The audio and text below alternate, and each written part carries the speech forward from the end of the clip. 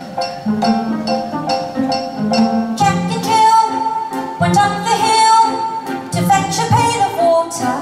So they say the subsequent fall was inevitable.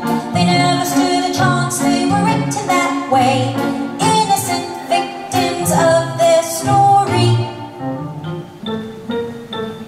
Like Romeo and Juliet, 'twas written in the stars before they even met.